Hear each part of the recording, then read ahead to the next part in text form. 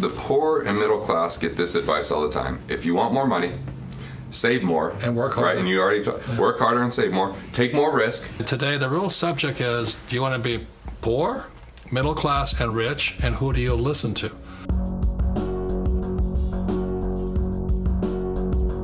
Garrett Gunderson, he's author of Killing Sacred Cows. And today, the real subject is do you want to be poor, middle class, and rich, and who do you listen to? So, my point is, we're repeating because repetition is how we learn, is there was this great book, The Millionaire Next Door. And it worked because the stock market was going up. This is Stanley. Like I said, my father bought a house, I think in 1967. It was $50,000, million two, million four a few years later. The trouble is he couldn't sell it because he had no place to go. So he was a net worth No millionaire. cash flow coming in. No cash flow, and he lost his job, and he was all this But his taxes were going up. Yeah, his, ta- his that, property yeah. taxes went up. So there's a lot of people who are millionaires, but they're broke. If you can understand that, isn't that true? Yeah. Net worth is relatively worthless if you can't can't convert to cash flow. That's right. That's the bottom line. So there's millions of baby boomers right now, my age, who are in trouble, right? Yep. They're in serious trouble. And the reason they're serious, I won't go into too much detail, but between 2008 and 2015 today, what the federal government did, the U.S. Treasury, is they borrowed out the money from the pension plans of government employees. So the pension plans are empty, as is Social Security. Social Security. Security's empty. Yeah, Social Security is empty. So all of you right now who are my age, let's say you're 50 plus, you're going, well, I'm going to have a happy retirement.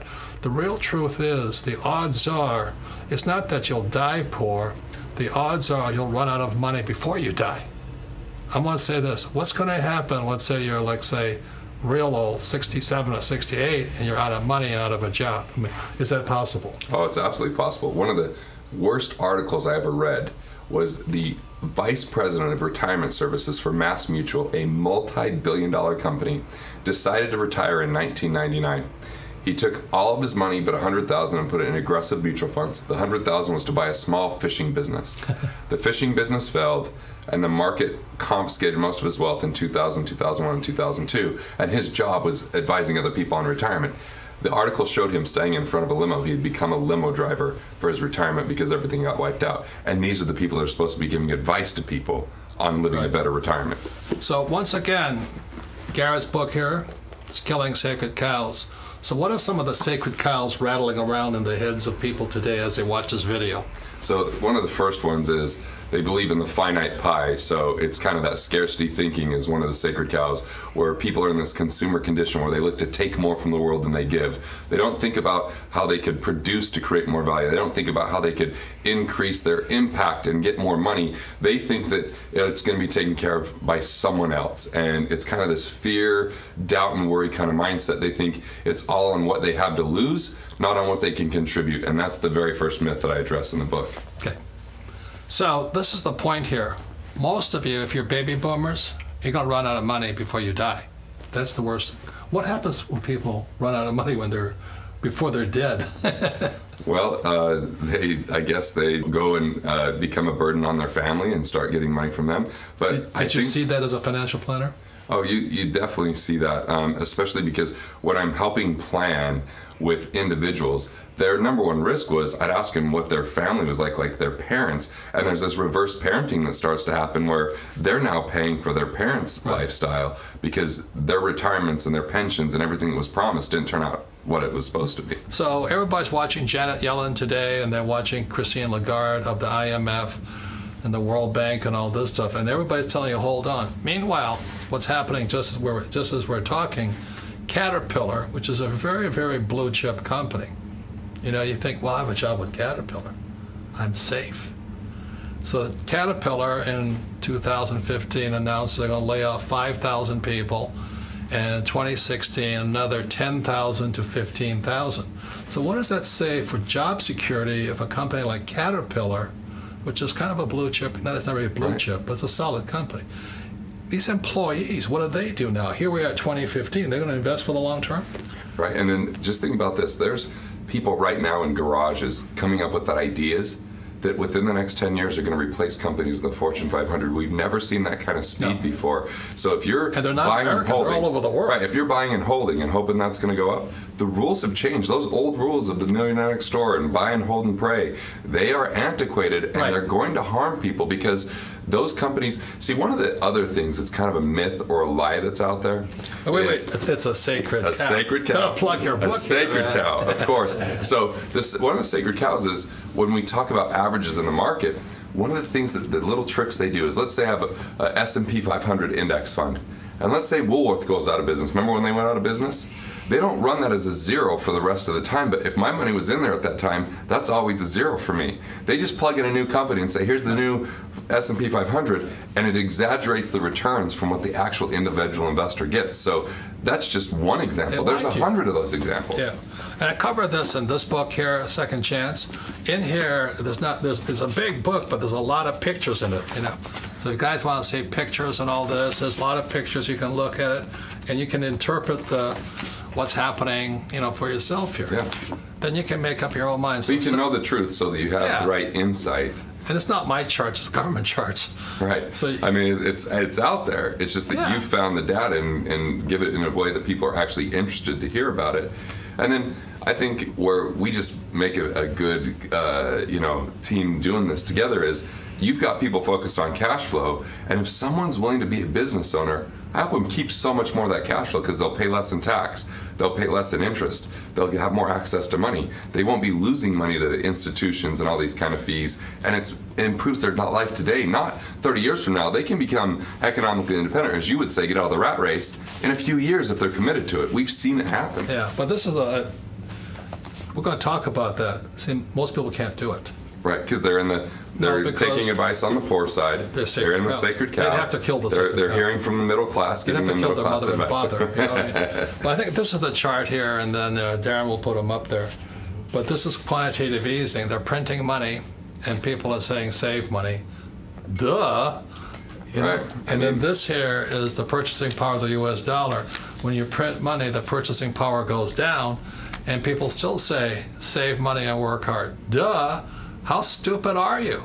But if you want to be poor, don't pay attention to this. Well, because the poor and middle class get this advice all the time. If you want more money, save more And work harder. Right, and you already ta- work harder and save more. Take more risk, but it's risk on things that they know nothing about. No, See they, what? they, they actually say live below your means. yeah, live below your means. I hate Cut living below my means. Right. I mean, I think living within your means, when most people hear that, they hear cutting back. I hear two other things expand your means. Right? what I do. Expand your means. Or be more efficient with every dollar you have that you're not giving the government more than they deserve. And pay less tax. Yeah, pay less tax, exactly. So so you can live within your means and, and still drive two Ferraris, have a Bentley, live the life you want. It's just simply you invest in yourself. You grow your knowledge. You're a good real estate investor because you've invested the time. You've built the team. Those who are following the old rules or the old sacred cows, you're going to get hammered. So this is how we make changes, okay? And this is the whole message of today's program with Garrett. There's advice for poor people, there's middle class people, and rich people. If you like being poor, then Susie Orman is your best teacher. You know, what she says is cut up your credit Yeah. cards and live below your means. You know, for most people, that's good advice, right? Uh, yeah. It's fantastic advice. You won't If get If you're rich. spending more than you make, you got to listen to that. And it's not, well, at the point that, you know, Garrett's making here, it's not how much you make makes you poor. What makes you poor is you spend more than you make. Right. So, you know, I have a friend who says, you know, he makes a lot of money as a, an attorney. He says, my, my wife has a black belt in spending. You know, she shops all day long. So he might, let's say he makes a dollar, she'll spend 10. So when Susie Orman says, cut up your credit cards, fantastic advice. Right. Because if you don't stop that, you'll never be rich anyway, right? Totally agree with that. That's the problem. So Susie, I I love it when she had her show. And this one woman called up. She says, "Oh, Susie, you know, I'm making a thousand dollars a month. Nine hundred is going to rent, and I want to buy a puppy." And she goes, "Well, how much is that puppy going to cost? Oh, Oh, three thousand dollars." You know how much? Gonna cost- Denied. Yeah. How much is it going to cost to feed it? Oh, a hundred bucks a month. She goes, "How are you going to pay for it?" How you can feed yourself? yeah, how you gonna feed yourself? She goes, denied. I love it, Susie. Keep doing that. You know what I mean? Because that person, if they don't change that, if they don't stop spending more Nothing than they make, you because they'll, No. you know, so then to get the higher paying job, they just spend more money. Yeah, it's Parkinson's law. The more they make, the more they spend. Yeah. And so that's why Susie Orman's fantastic advice for poor people. And then for the middle class, we have a whole bunch of people, okay? We have number one millionaire next door with Yeah. Stanley. And also we have Dave Ramsey. He is a friend of mine. He has fantastic advice. You want to be middle class? Live debt free.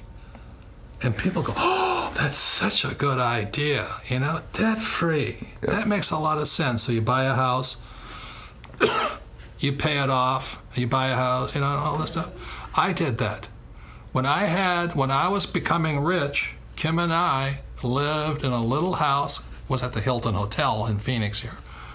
But my monthly payments total was $310 a month, and rent in the same house would have been 800 to $1,000. So it was really made a lot of sense to kind of live in a less expensive house. And with that extra money, we're buying apartment houses. And today, Kim and I have 10,000 apartment houses. Right. So Limit the cash flow going out, and you improved your cash flow coming Yes, in. We expanded our means. Right. Expand your means, which you're not going to hear that from Dave. No. You're not going to hear that from Susie because that's middle class and Yeah. poor. So if you're middle class, you know, buy a little house, you know, pay it off, live debt free. So all of you who are middle class, it's live below your means Live debt and live debt free. Just is cut up your credit cards, get out of debt. See, that's very different, but that's great advice. What do you want to say about Dave's uh, Ramsey's advice on living debt free? It's good advice. right? He's got five basic principles that he teaches that I think are fantastic Yeah.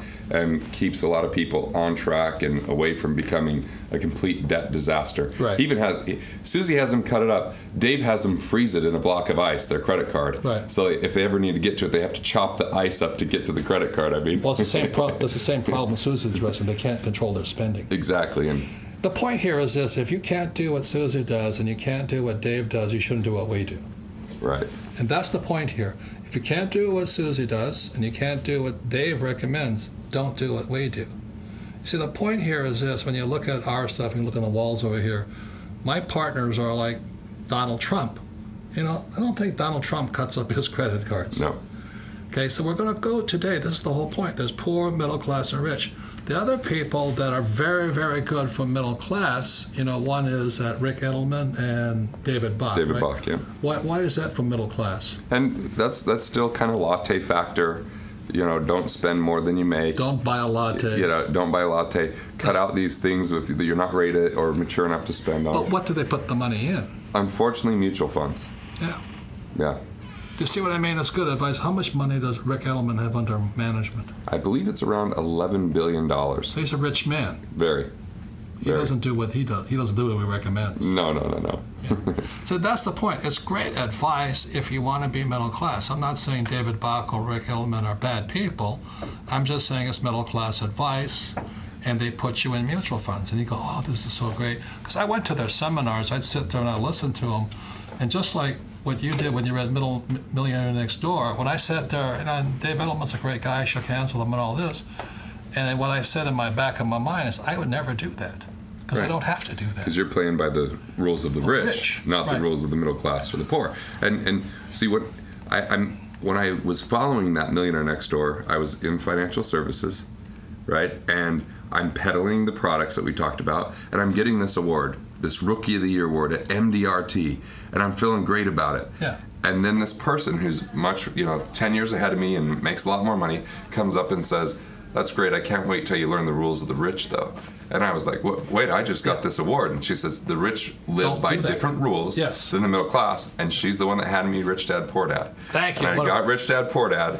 I read it and I was like, Oh my God, I get it. This Yeah. is totally different. very different. This is this is completely different set of rules. Right. Completely different set of rules. Another great friend of mine. These guys all not the you know like I'm more friends with Dave Ramsey. Dave Ramsey's a great guy, but I don't think he follows his own rules. You know what I mean? He's got a pretty nice house. Yeah. No, but he also he was a real estate guy. Yeah. You know he, he used debt. You know he knows he knows the game of the rich. Yeah.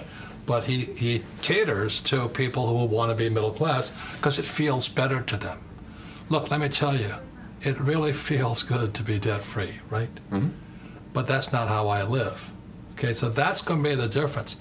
Poor, middle class, and rich. Again, the reason I love your book here, Killing Sacred Cows, what's killing them is up here. Mm-hmm. You see, they think they're doing the right thing. You know, I have a 401k and I'm investing for the long term, you know, and it's, you know, it's tax deferred, you know, it's a tax free account. Setting up college funding for College my kids funding, with yeah. 529s. And you're getting ripped off. Yeah, 529, I always say 529 is not mine. That's what they should be saying because it's actually, once again, the government owns those plans.